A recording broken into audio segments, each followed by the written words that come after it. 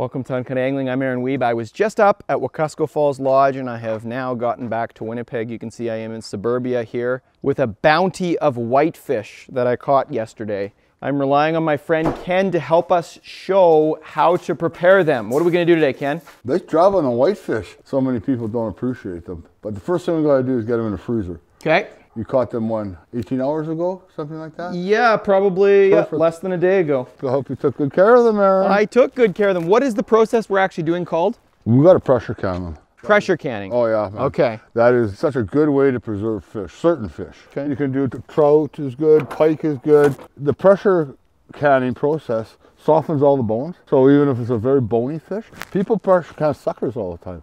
And it's, you know, you wouldn't think so, but I know, but I haven't done it either. But, uh, oh, oh, oh, nice job, Aaron. This is perfect. Just like a real commercial fisherman. No kidding. This is so perfect.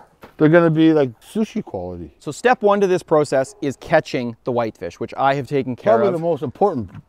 Well, you don't get to step two ever unless you do step exactly.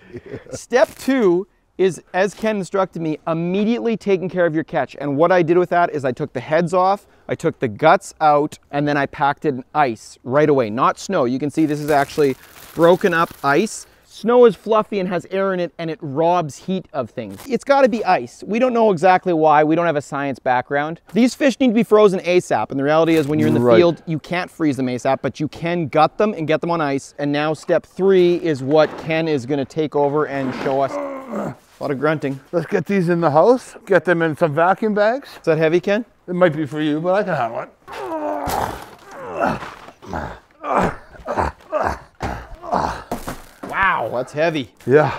We've got them in the sink here. Like these are basically perfect. Got the guts taken out. Before I took it out, it looked like a bloodline that runs right underneath the spine, but you're saying that's Yeah, the kidney? it's like a bloodline, but yeah, it's actually the fish's kidney. You can usually just take your thumbnail and scrape it right out. And a lot of people won't take that out, but obviously you want them like clean like that. Like that is so nice. Vacuum packing to me is the way everything should be frozen. Fish, venison, goose breasts. Even my wife will go buy pork chops and I'll, I'll vacuum pack them before I put them in the freezer.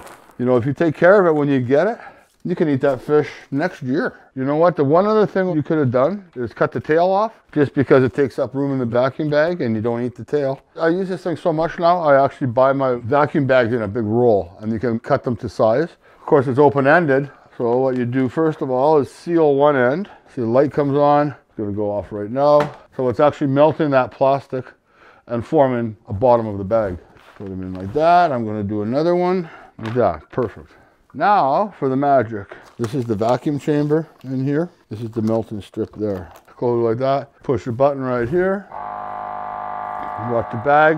All the air is getting drawn out. It automatically senses that there's no more air to come out and it'll seal the bag and fish will be vacuumed. That is the beauty of vacuum sealing. Put this in the freezer two years from now, that will be just as tasty and fresh as it is right now. Okay?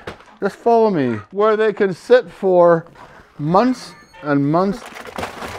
So that's the first three steps. And those fish will be good for two years from now, no matter what you want to do with them. Welcome back, Aaron. It's about time. We're only 14 months later down the road here. This is now uh, May 2019. Here's the whitefish you brought me last spring. Okay, here we are. This fish has been thawing out for about three hours now. We're ready to start processing it. What step is this, Ken? Uh, I've kind of lost track here, and there's so many steps here. Uh, this would be step uh, step four. Let's take these fillets off. Running the knife along the backbone. There you go. Isn't that meat nice for 14 month old fish? Just trimming off the fins and stuff, cleaning up the fillet, you know. I'm gonna take the ribs off right away. The neat thing about this canning is that any fish really, you don't have to worry about the pin bones or the Y bones or anything because I guess it cooks at such a high temperature. It's not only killing all the bacteria, but after they come out of the canning process, the bones are gone. It's like they were never there. Take the skin off. There we go, look at that. Uh, what step are we on? Five. How many are there in total? 20. Everybody's got their own favorite brine.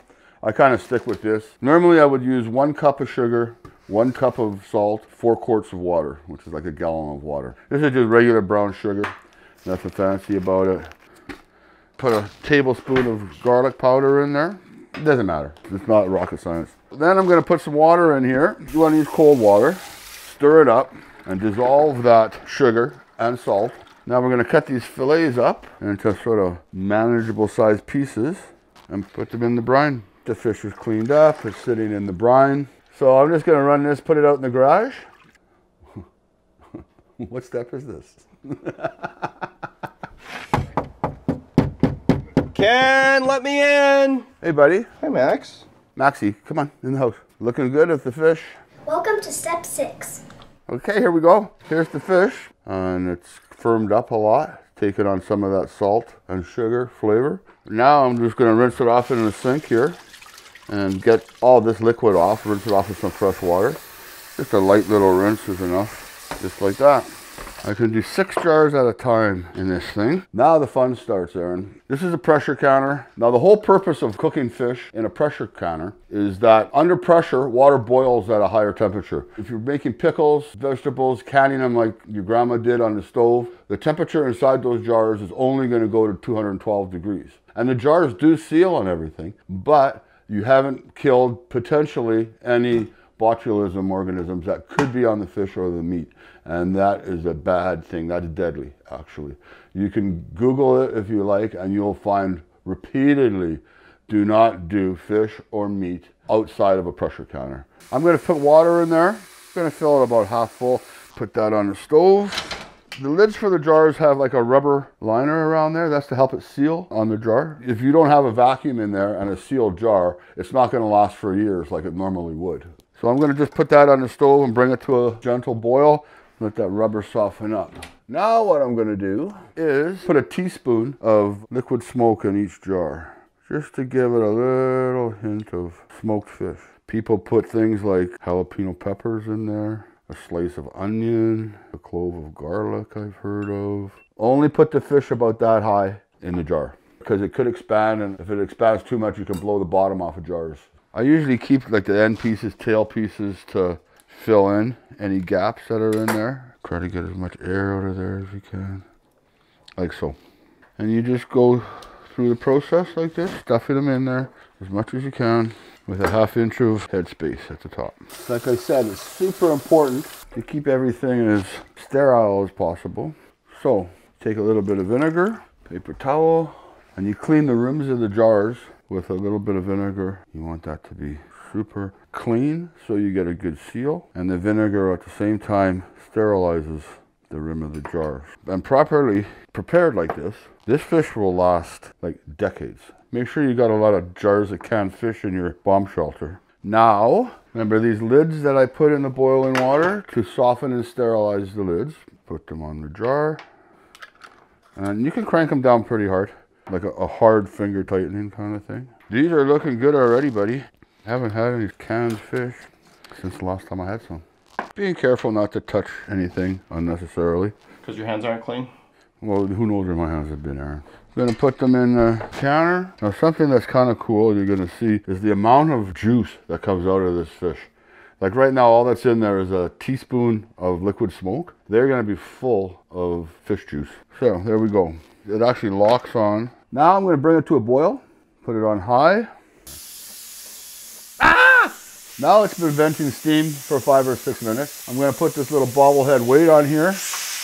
Now pressure is rising inside the canner. The pressure will go up to 10 psi and the bobblehead will start releasing steam again.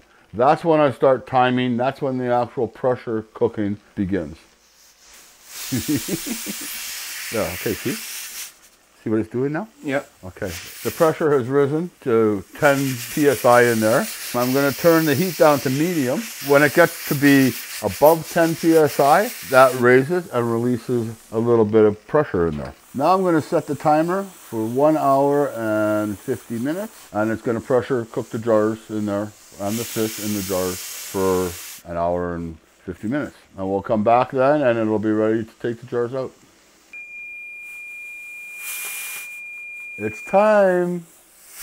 I'm going to turn the heat off and now let it cool down on its own. You can't even open the lid now. It's locked, it's pressurized, but the pressure is slowly going to drop. The lock's going to open and I'll be able to take out the jars of cooked fish. I have to get my little jar picker upper.